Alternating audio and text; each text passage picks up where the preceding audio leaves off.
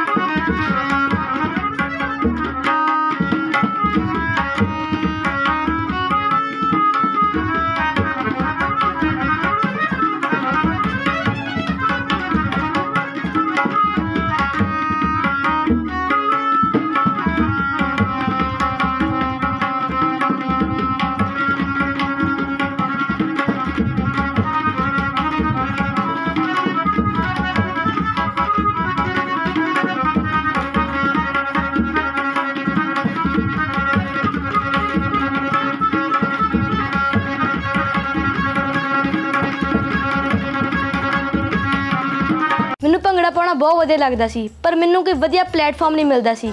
ਪਰ ਮੈਨੂੰ ਕੇਕੇ ਸ਼ੀੜੀ ਨੇ ਇੱਕ ਵਧੀਆ ਪਲੇਟਫਾਰਮ ਪ੍ਰੋਵਾਈਡ ਕੀਤਾ। ਜੇ ਤੁਸੀਂ ਵੀ ਆਪਣੇ ਟੈਲੈਂਟ ਨੂੰ ਅੱਗੇ ਲੈ ਕੇ ਜਾਣਾ ਚਾਹੁੰਦੇ ਹੋ ਨੰਬਰ ਨੋਟ ਕਰ ਲਓ 9041 733 733 ਬੈਸਟ ਆਫ ਲੱਕ